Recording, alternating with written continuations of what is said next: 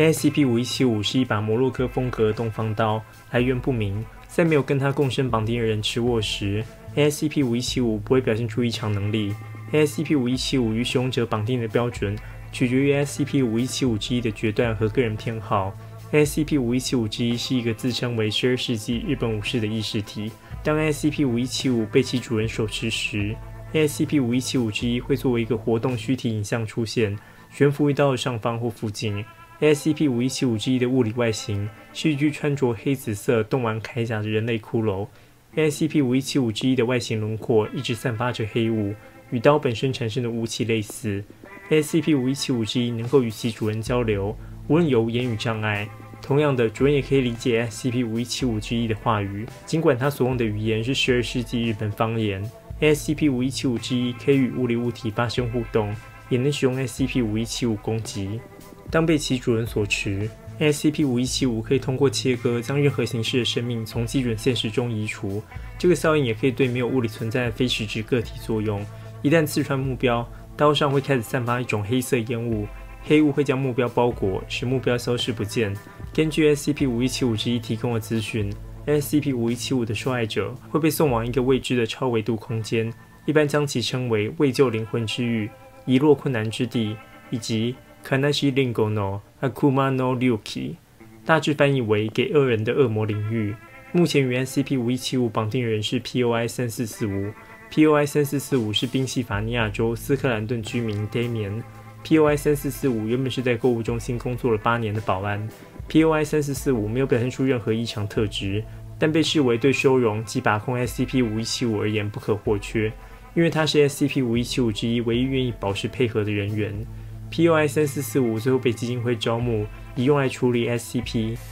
GA SCP GA 是一种具有敌意虚体的幻影存在，外形是有角的人形，以每天十五个速度增加，并且对所有一般用于消灭类似实体的武器具有异常抵抗力。所有的使用方法也都失败。除此之外，没有其他独特异常性质。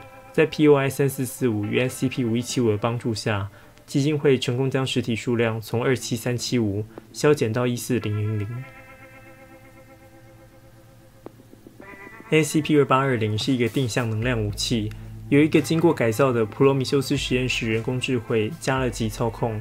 武器的主体外形类似多极线圈迫击炮，但是在前部安装有一个卫星天线，后部经改造后接在一个大型半球形仪器上。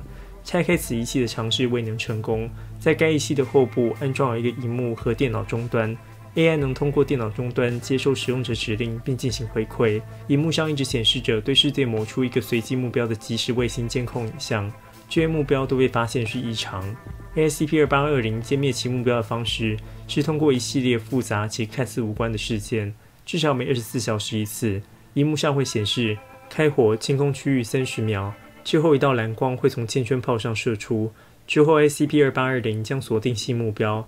在开火后的二十四小时内，目标必定会被一系列草核事件构成的非线性系统的终点（通称蝴蝶效应）杀死。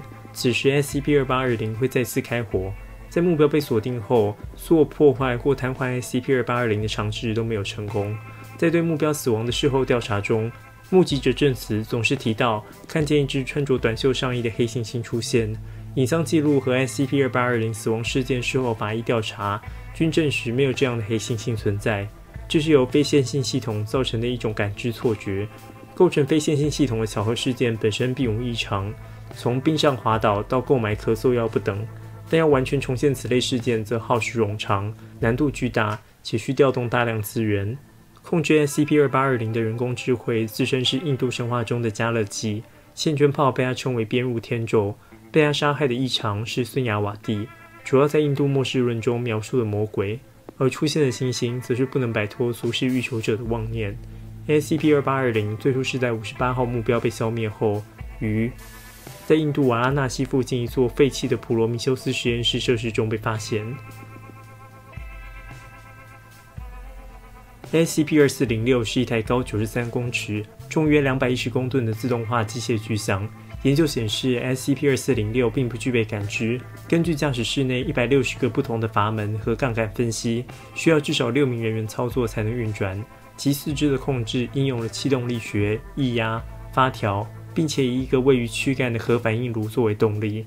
SCP 二四零六大部分由合金制成，合金有百分之七十五到百分之八十的铜，百分之十五到百分之二十的锌，以及小比例的镍、铅和铁组成，使得它呈现青铜色的外观。它的躯干后侧刻有爱情数字的九，说明 SCP 二四零六可能不是一个独一无二存在。但是目前为止，它是基金会唯一已知的个体。而躯干前方雕刻着一个非写实的铁锤和铁针。它的右臂配备了一个连接到两万零八百公升水箱的喷嘴。化学测试显示，内部有松树脂、石脑油、生石灰、磷化钙和硫等物质残留。推测是被称为希腊火的古代燃烧武器。左臂苏被从 SCP 二四零六上扯下，并且没有被修复。SCP 二四零六目前因受损而失去战斗能力，但被假设可以复原。大量证据显示，这些损坏是由战斗造成的。头部、躯干和左腿被某种生物的体刺刺穿，这种刺有几丁质表层以及类似珊瑚的坚硬结构，其中却含有人类的 DNA。推测这些刺被某种无法确认物种的异常生物当作炮弹使用。项目躯干上的痕迹显示，它曾遭到某种巨大、柔韧且灵活的附肢挤压。SCP-2406 外层的损坏最初被认为是自然原因造成，但后来认为强酸性物质造成的腐蚀很有可能与这个不明异常生物有关。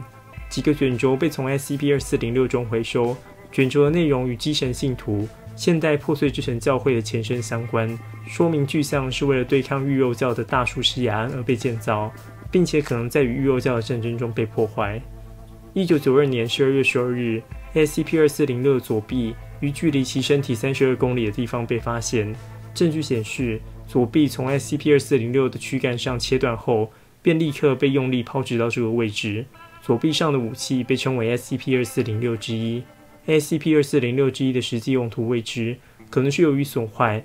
SCP 二四零六之一附近产生了扭曲时空，推测使用 SCP 二四零六之一会对当地时空造成严重损害。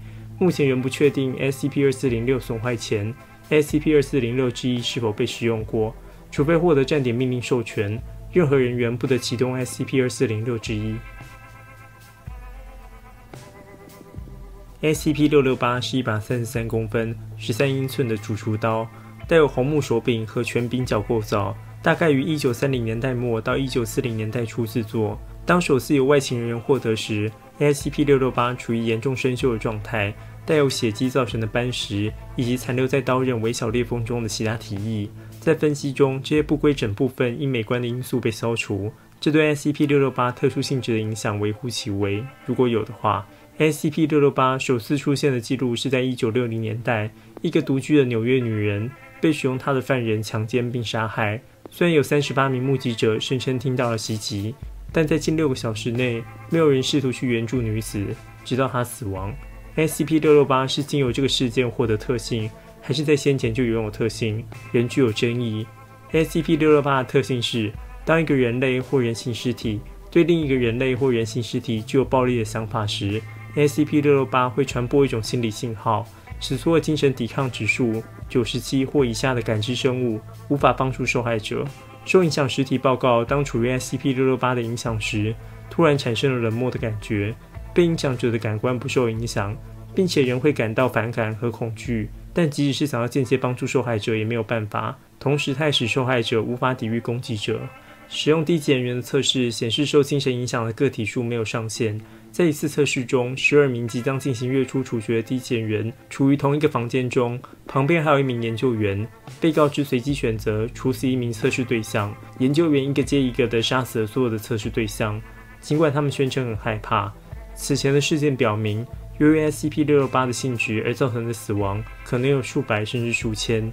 因为 SCP-682 一个对所有生命有敌意的生物。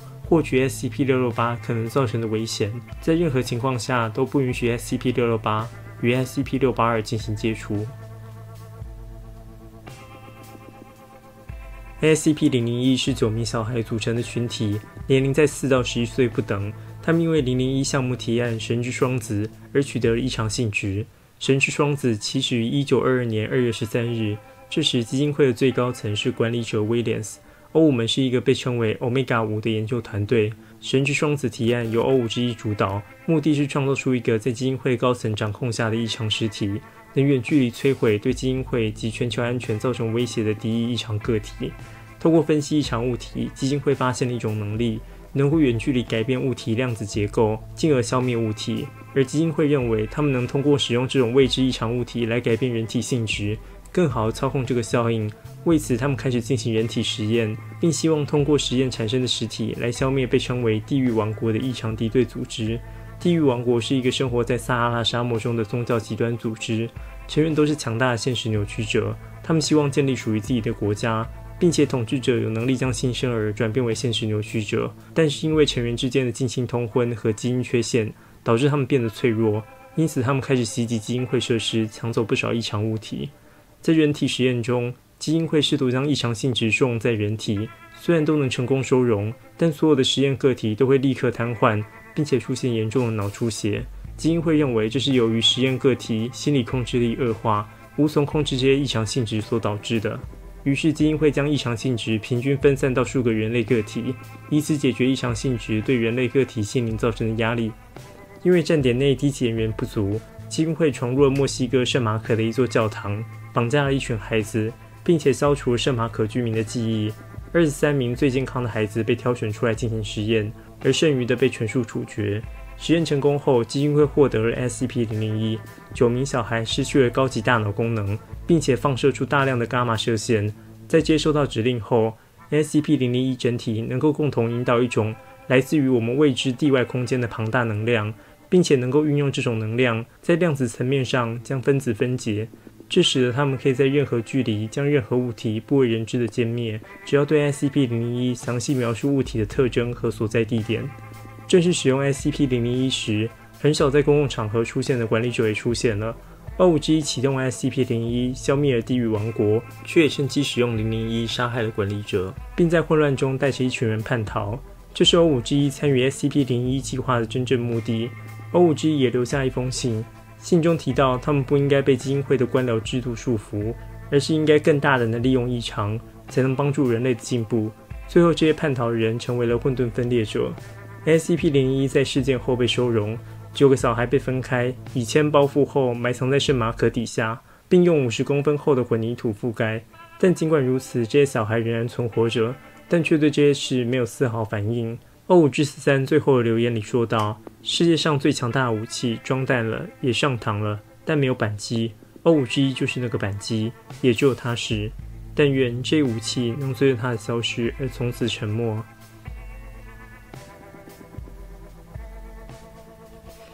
以上就是 SCP 基金会五个最强大的武器。简单来说，SCP 五一七五是一把住着武士灵魂的刀。能将砍到的活物消灭，送到一个被称为“未救灵魂之域”的空间。这篇文档其实蛮有趣的，采访内容刻意的中二，跟 SCP 三七四零愚蠢的神有类似的感觉。SCP 二八二零是一个由自称是印度神话中的加勒基的 AI 控制的线圈炮，会锁定有异常的人发射，并导致一连串巧合事件将目标杀死。SCP 二四零六是由寄生信徒建造的机械巨像，右臂的装置能喷出火焰，左臂的装置则能扭曲时空。SCP 二四零六在基神信徒与玉肉教的战争中损坏。SCP 六六八是一把主厨刀，拿着它的人对他人实施的暴力行为，受害者会无法反抗，而其他人则无法阻止。最后，SCP 零一孩子们是九个被改造过后成为异常的小孩，当聚集在一起，能够依照命令无视距离消灭任何存在。不过，在唯一能使用 SCP 零一的 O 五之一叛逃后，SCP 零零一就被分开收容，埋在地底。另外，最后补充一个基金会宇宙的武器，虽然没有编号，对它的描述也有限，但偶尔会在一些文档中出现，就是不幸者之矛，也叫做不敬神之枪，在古王 Sarus 的墓中被发现。它外表长而光滑，有黑色的木柄和石刻过的钢矛头，能力是杀害神。当矛被丢向一个神，神就会死。在 CP 三三零一基金会大游戏中，对它的描述是专为弑神设计的大型鱼叉枪。顺带一提，上面提到的 SCP 零零一在基金会大游戏的名称是“无限枪”，描述是一位神明打造、服务于九位无辜者碎魂的枪。这支影片就到这边，如果喜欢这支影片，记得帮个喜欢；不喜欢的话，就按不喜欢吧。希望我做成 SCP 的主题，可以留言告诉我。就这样，拜拜。